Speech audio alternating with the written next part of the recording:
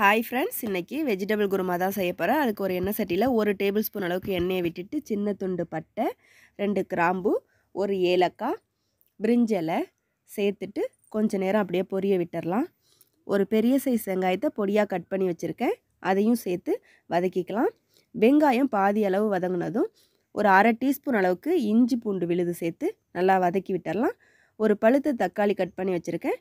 அதை சேர்த்து வதக்கிக்கலாம். தக்காளி ரொம்ப வதங்க தேவையில்லை. கால் டீஸ்பூன் மஞ்சள் தூள் ஒரு டீஸ்பூன் அளவுக்கு மல்லித்தூள் ஒரு டீஸ்பூன் அளவுக்கு தனி மிளகாய் தூள் சேர்த்து நல்லா வதக்கிடலாம். மசாலா வாசனை போகிற அளவுக்கு. இப்போ நல்லா வதக்கியாச்சு. கேரட்டு உருளைக்கிழங்கு பீன்ஸ் அரிஞ்சு வச்சுருக்கேன். காய் கூட ஒரு கால் கப் அளவுக்கு பச்சை பட்டாணி ஊற வச்சு எடுத்திருக்கேன். எல்லாத்தையும் நல்லா வதக்கி விட்டுறலாம் வதங்கின பிறகு தேவையான அளவு உப்பு சேர்த்துக்கலாம். சேர்த்துட்டு மறுபடியும் ஒரு தடவை நல்லா கலந்து விட்டுறலாம் இப்போ ரெண்டு கப் தண்ணி சேர்த்துக்க போகிறேன் ரெண்டு கப் தண்ணி சேர்த்து நல்லா கலந்து விட்டுட்டு மூடி போட்டு கொதிக்க விட்டுடலாம் காய் நல்லா வெந்து வரட்டும். இப்போ தேங்காய் மசாலா ரெடி பண்ணிட்டு வந்துடலாம்.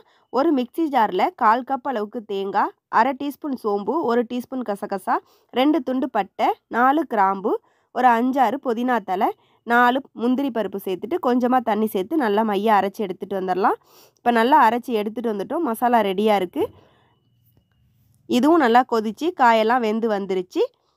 இப்போ நம்ம அரைச்சி எடுத்துகிட்டு வந்திருக்க மசாலாவை இது கூட சேர்த்துக்கலாம். மசாலாவை சேர்த்துட்டு நல்லா கலந்து விட்டுறலாம். கலந்து விட்டுட்டு மூடியை போட்டு ஒரு மூணுலேருந்து நாலு நிமிஷம் வரைக்கும் கொதிக்க விட்டுறலாம். சூப்பராக வெஜிடபிள் குருமா ரெடி ஆயிடுச்சு. சப்பாத்தி பூரிக்கு ரொம்பவே அருமையாக இருக்கும். இப்போ கொஞ்சமாக மல்லித்தலையை தூவி விட்டுறலாம்.